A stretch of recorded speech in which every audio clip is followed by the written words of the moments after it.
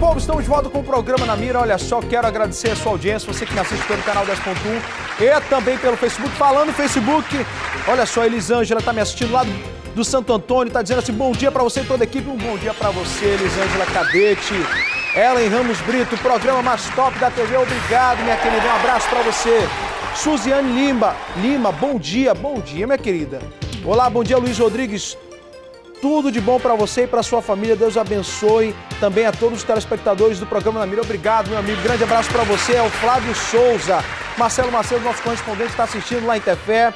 Tem também aqui o Rosenberg. Bom dia, Luiz. Manda um abraço para a nação rubro-negra. Salve, salve, saudações rubro-negras, meus amigos. Um grande abraço pro povo de Novo Israel. Olha aqui, o baixinho veio de Flamengo. Minha gente, eu ia trazer a camisa por debaixo, só que não secou, meu povo não secou minha camisa que eu usei, né, no sábado, tá certo? Ah, tem o pessoal aqui também, né, meu diretor? Deixa eu pegar aqui. Não filma, enche a tela, fica na tela, fica na tela. Não mostra aqui. É, bem mesmo que você mostra, né? Quero desejar os parabéns para, Car para Caroline do Jorge Teixeira. Um grande beijo, Caroline! Olha só, como é que é isso aqui? Ah, um abraço para Paola, lá do bairro da Chapada. Um grande abraço, Paola. E para todo mundo que nos acompanha lá da, da Chapada. A Ruth, que nos assiste do Nova Vitória. Um grande abraço, Ruth. Sua linda. Francilene Oliveira, ai meu Deus, que triste, o que será? É o pessoal falando do caso da criança. Daqui a pouco a gente vai voltar a falar, aí eu coloco os comentários aqui do Facebook. Vem pra cá, porque olha só, minha gente, um corpo do sexo masculino foi encontrado em um terreno baldio com mãos e pés amarrados. Eu falei para você que ia trazer essa matéria e eu vou colocar agora no ar na tela do Namira. Exatamente. O corpo desse rapaz foi encontrado por moradores por volta das 5 horas da tarde de domingo. Eles estavam andando pela rua Souza Brasil, que fica na invasão Carlinhos de Cabrais, no bairro Tarumã, e acabaram se deparando com o corpo desse jovem de apenas 22 anos de idade, identificado como Juan Charles Alves. Ele estava, inclusive, com as mãos e os pés amarrados, né? Segundo informações de moradores, informaram para a polícia, inclusive, que por volta de duas horas da manhã eles ouviram barulho de tiros ali na região, ali no bairro, mas ficaram com medo, não sabiam muito bem de onde viriam esses tiros. E por volta das 5 horas da tarde eles acabaram encontrando o corpo desse jovem, que inclusive estava aí com as mãos e os pés amarrados e segundo a polícia, com várias marcas de tiros na região do rosto, na região da cabeça. A polícia acredita que seja aí uma briga com relação a tráfico de drogas, né, que possivelmente seja uma cobrança de dívidas, porque segundo inclusive aí testemunhas, esse rapaz era usuário de drogas. Mas a delegacia especializada em homicídios e sequestros é quem vai investigar o caso para saber o real motivo e também tentar identificar as pessoas que cometeram esse crime. Volto com você. Obrigado, Bárbara Mitoso, com as suas unhas avermelhadas, né? Minha gente, isso não vai deixar de acontecer. Tô pra cá? Pra cá, rapaz. Os caras estão cortando aí, rapaz, que a câmera do baixinho tá, tá dando defeito aqui. E a gente, isso vai continuar acontecendo aqui em Manaus.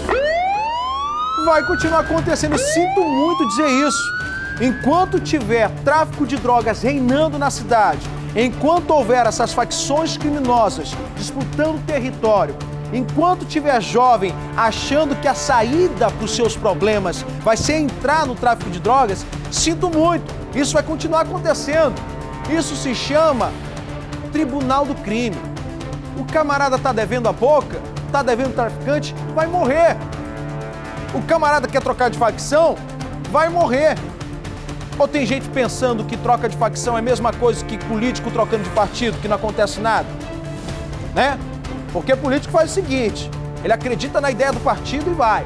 Aí vê que o barco está afundando, aí ele sai e muda para outro partido e já muda completamente a cabeça dele. Não é que esse partido agora trabalha com as minhas ideias, é dessa maneira que os camaradas fazem hoje em dia.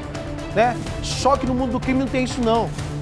O camarada quer mudar de facção, vai morrer.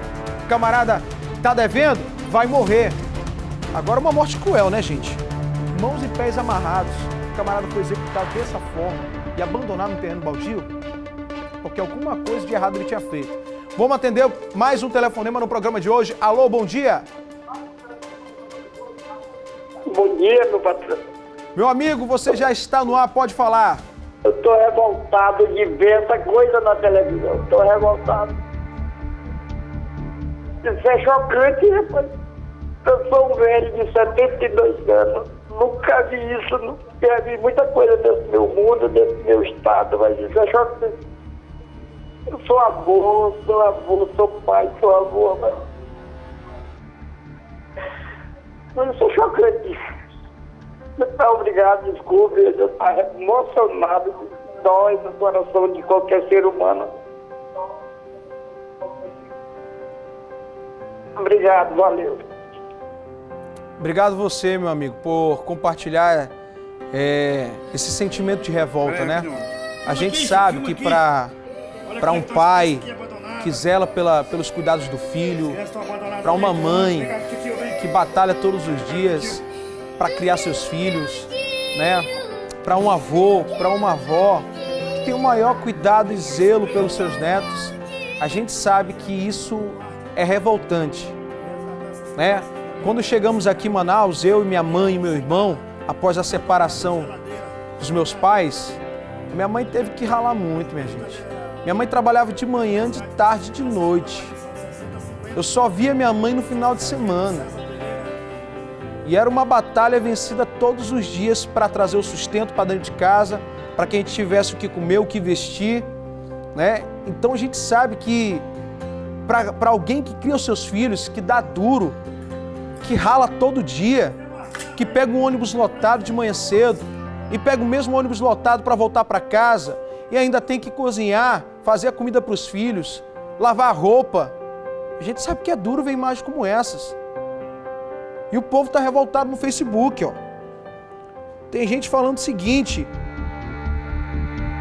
Ai meu Deus, que triste, o que será dessas crianças? A Elisângela está dizendo assim, ó, que mulher monstra. Tem gente dizendo, meu Deus, isso é de, do, de doer a alma. Deus, olha por essas crianças. Ó, tem gente dizendo, meu Deus, essa mãe é doida para deixar essas crianças sem ninguém. Isso aí não é mãe, é um lixo. Todo mundo revoltado, gente. Todo mundo revoltado. Ninguém aguenta ver isso. Ninguém aguenta ou suporta ver esse tipo de situação. Sabe o que é pior?